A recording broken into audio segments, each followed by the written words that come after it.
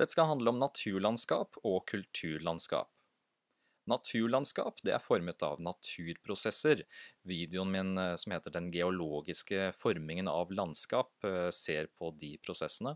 Kulturlandskap derimot er formet av mennesker. Noen eksempler på slike kulturlandskap eh, kan være jordbrukslandskap, byer selvfølgelig, her ved Manhattan og New York City, boligområder, veianlegg, her fra Los Angeles, industrilandskap, hotell- og skianlegg, og demninger, her med den berømte Hoover Dam f.eks., um, og Colorado-elven som renner gjennom den. Mennesker er eh, opptatt av den estetiske verdien av landskap, at det er vakkert, det er det estetisk betyr, eh, og det er gjerne naturlandskap man tenker på da, som fra Norge så er det flere, eh, oppe i fjellet selvfølgelig, eller ved sjøen og havet. Folk har også en tilhørighet til landskapet de vokste opp i. Om man vokste opp i eh, en by f.eks., eller et lite sted, i en dal eller ved sjøen og havet.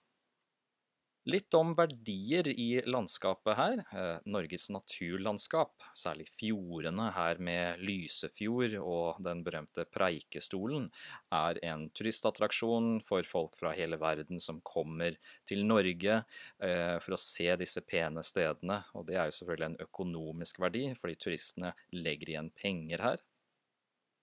Eh, et annet eksempel er Oslomarka.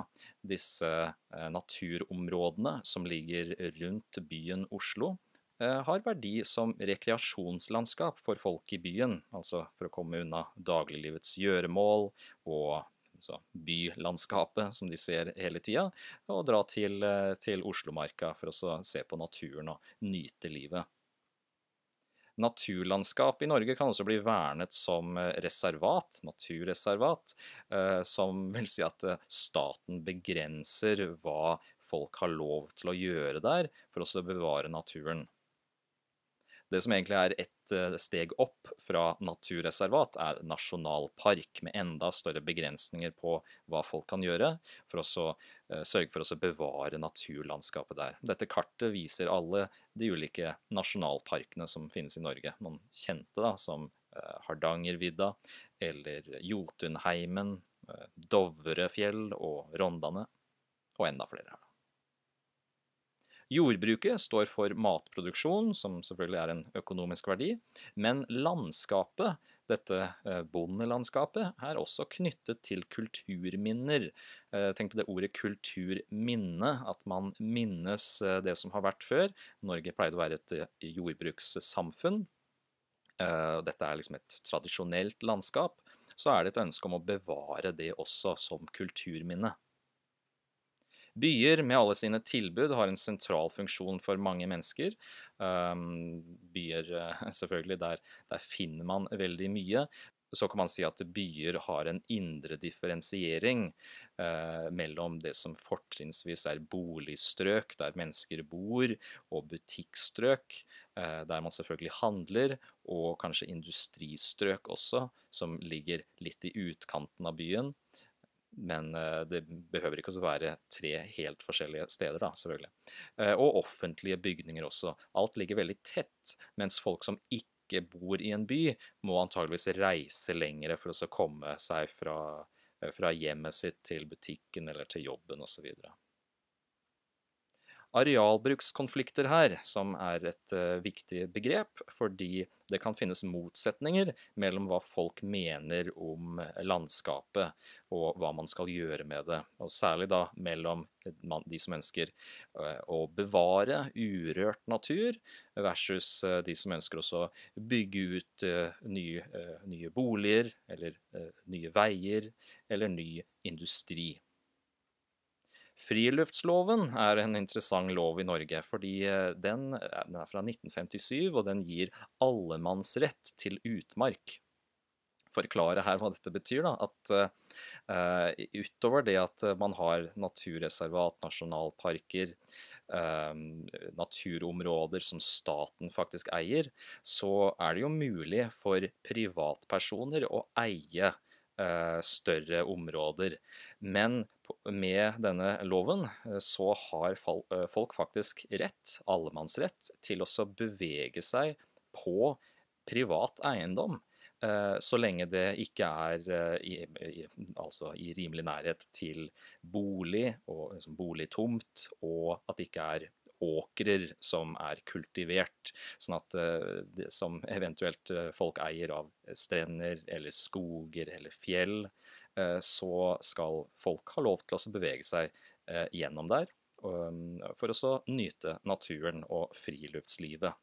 Man får riktignok ikke lov til å gjøre akkurat som man vil og være der så lenge man vil, men dette har å gjøre med den retten som folk skal kunne ha til å nyte naturen, og det kan gå på tvers av det som grunneier selvfølgelig ønsker, hvis man skulle ha fjernet disse eh, rettene. Fjellandskapet har også sett økt ferdsel eh, i senere tid, eh, altså flere mennesker som drar dit, og grunneierne som, som har sett at det er penger å tjene på å selge hytter, så det blir bygd flere hytter gjerne. På Finnmarksvidda så er reindrift en levevei for samene, dvs. Si avling av, um, av reinsdyr, men den har blitt mekanisert, at man bruker eh, snøscooter og slike ting, og så har man fått større og større eh, reinsdyrflokker, og det har økt beitepresset, så det kanskje er en arealbrukskonflikt eh, med hensyn til at eh, da blir ikke eh, naturen helt urørt og bevart nødvendigvis. Landskap blir også vernet av eh, naturvernloven, plan- og bygningsloven og kulturminneloven, altså egen lov for bevaring av kulturminner. I tillegg til FN-organisasjonen UNESCO, som står for United Nations Educational, Scientific and Cultural Organization, som har en verdensarvliste, eh, World Heritage, da, som er eh, områder som de eh, sier skal vernes og det inkluderer både naturlandskap og kulturlandskap. Kort oppsummert her, naturlandskap er formet av naturen, sånn som den fjorden her, mens kulturlandskap er formet av mennesker, som, eh, som denne åkeren. Både naturlandskap og kulturlandskapet kan ha verdi i seg selv utover økonomisk aktivitet. At i tillegg til at det kanskje er penger å tjene, så uh, synes folk at uh, det kan være estetisk, at det er pent landskap, eller folk kan ha en tilhørighet, eller føle uh, at det er en del av deres identitet, at kanskje de kommer fra dette stedet og ønsker at det skal bli bevart. Og i Norge så har naturen en veldig spesiell plass. Eh, nordmenn flest eh, synes at eh, den norske naturen er den flotteste, sikkert, og man har de som foretrekker fjell, kanskje, og de som foretrekker sjøen, men man ønsker i hvert fall også at dette skal bli bevart. Arealbrukskonflikt eh, er et eh, viktig begrep. Det eh, handler altså om konflikt over hvordan arealet eller området, landskapet, skal brukes. På den ene siden så har man ønske om å bevare urørt natur, og på den andre ønske om utbygging for økonomisk vekst. At man setter den økonomiske verdien over det estetiske perspektivet, kanskje. Staten verner landskap som naturreservat, nasjonalparker og i noen tilfeller kulturminner, bestemte kulturlandskap, som også skal bevares. Og verdensarvstedene som UNESCO kårer, inkluderer begge typene. De har noen eh, verdensarvsteder i Norge som du kan eh, finne ut selv på nettet. Eh, to av dem er Geirangerfjorden og Bryggen i Bergen, som selvfølgelig er et kulturminne, for det er gamle bygninger, da. Og så var Bergen en viktig by. Det var det. Tusen takk for at du fulgte med.